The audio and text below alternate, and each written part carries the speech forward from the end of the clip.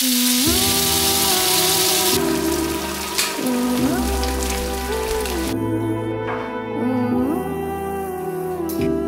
9.30 and I'm on my way back from Jiu-Jitsu. I got into Jiu-Jitsu at around 8.15 um, and now I'm on my way back. It's um, It was a good, good set of rolls, just really quite hard because I was the only white belt there.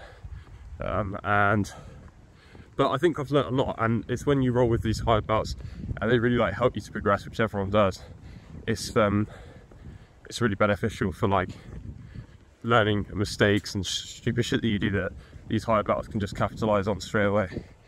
So yeah valuable session. I'm gonna go home take my supplements and eat my breakfast. Just got down on these tablets. Bottoms up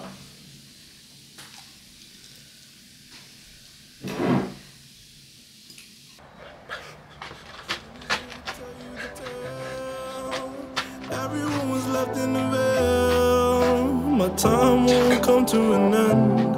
Take a look around, it's a war zone.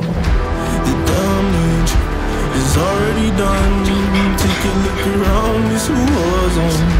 The damage is already done. Take a look around and keep your guns high.